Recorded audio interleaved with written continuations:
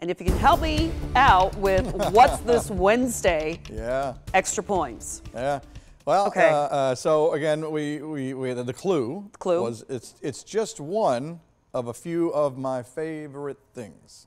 Just one of a few of my favorite things. Okay, so we all know Ben loves Christmas, so I'm thinking Okay. there's like a Christmas theme here. Well, you- one would think. Okay, so I was thinking, and okay, so it's either like candy wrapper Or or uh, wrapping paper. all right, It's like a whole kind of wrap paper thing. So Go with your gut. uh, candy wrapper. Oh, Reem said specific. What's that? Uh, specific type. What type of candy?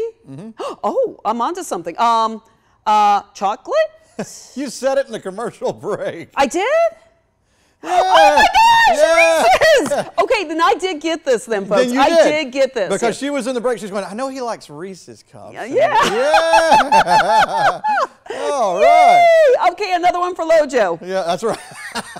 that's right. Another one. Frank is so far behind. Poor guy's off tonight, too. He can't even redeem himself. 44. Good stuff. The super guesser continues. We're looking at low 30s in the morning. So around freezing to start the day. And then it's just trying to hold on to December as we head on in toward Christmas Eve and Christmas Day. But Man, I'm going to tell you, April's trying to come in there, and March, April, somewhere and they're kind of a spring feeling once we get on into the weekend. So there's a look at the radar shot. We're not going to tarry here long. There's nothing to see. So let's get on past it and go to future view. And this is how it's going to be for about a week. All right, so these are not maps we're going to lean on in very much, but I am going to use it for a second to show you something. High pressure and control tomorrow, beautiful day, spinning clockwise. Notice these arrows out here. That's that southwesterly breeze where they've been warming up out west. And you can see with some of the orange and yellow shaded colors here. Notice as we go into Friday, also known as Christmas Eve Day.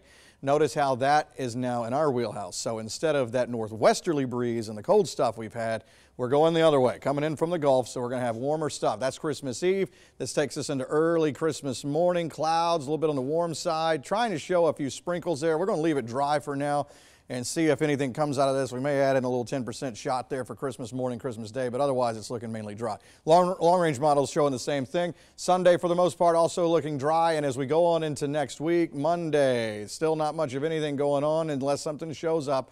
Tuesday, still quiet. And then maybe around Wednesday of next week, the next uh, system may be starting to get near. All right, so low 30s in the morning. Tomorrow afternoon, I have us in the upper 50s. Tomorrow night, we'll go into 30s one more time before we go into Friday and things start warming up. We're going to have 60s, either low to mid 60s during the day Friday, and then this will go into, notice as we go overnight into Christmas morning, instead of 30s, we're looking maybe 50 plus. We'll see if there's some upper 40s in the mix, and then as we go into Saturday afternoon, it's on. Uh, December is taking a break for a little while. I have it's in the low 70s, but we may end up bumping this up. Can you believe that?